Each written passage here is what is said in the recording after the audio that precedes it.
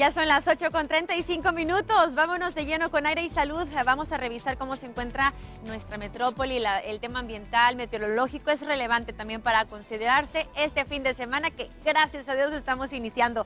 Además, le comento, le recuerdo, toda la semana he estado insistiéndole que este domingo recuerde que es el cambio de horario. Nos pasamos ahora al de verano y vamos a adelantar una hora nuestro reloj, que no se le vaya a olvidar, para que tampoco se vaya ahí como a desubicar si ya el domingo eh, pues se levanta y a lo mejor unos relojes, los de pared tal vez, no están eh, pues con el, tiempo ya en, orden, pero eh, pues aquí está la recomendación.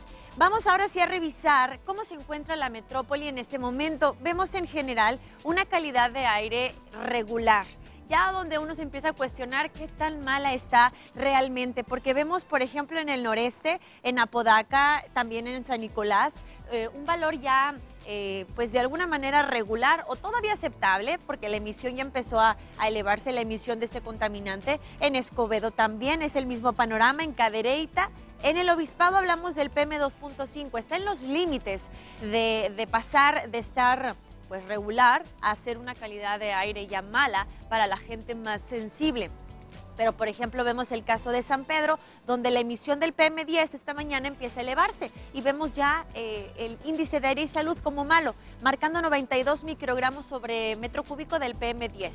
Pero yo quiero hablarle del PM2.5. Si lo recuerda, lo hemos estado comentando también cuando vino em, el doctor em, Juan Castillo, neumólogo, nos estuvo platicando de la importancia de cuidarnos especialmente del PM2.5, porque esta materia particulada es tan es muy, muy pequeña, 100 veces más pequeña que un cabello humano. Y ahí, ahí nada más nos damos la idea. Y es muy fácil que cuando lo respiramos se nos va a los pulmones o a las arterias y se va a cualquier parte del cuerpo. Así que hay que considerar cómo están los niveles de contaminación, sobre todo del PM2.5. Y aquí vemos que todavía dentro de lo permitido en México estamos pues bien. Vemos valores por debajo de 45 microgramos, pero la OMS recomienda 25, entonces ahí se la dejo al costo, sobre todo para aquellas personas más vulnerables o también personas que trabajan al aire libre. Eso también es importante, porque a lo mejor podemos decir, no, pues yo estoy sano y no me pasa nada, yo me siento bien, pero esa tosecita de todas las mañanas